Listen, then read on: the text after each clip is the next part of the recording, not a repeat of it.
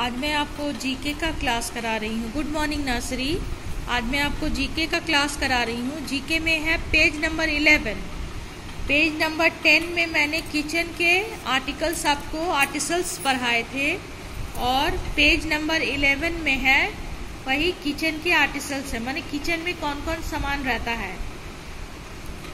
आधा हम लोग देख चुके थे, आधा आज हम देखेंगे। इसके बाद यहाँ पर है, देखिए stove kettle chopstick plate hot pot wok griddle jug covered bowl spoon ladle fork इसे हम लोग इसी तरह रीड करेंगे। Page number eleven GK book में पेज नंबर इलेवन खोल के किचन में कौन कौन सामान रहता है, इसे हम लोग रीड करेंगे।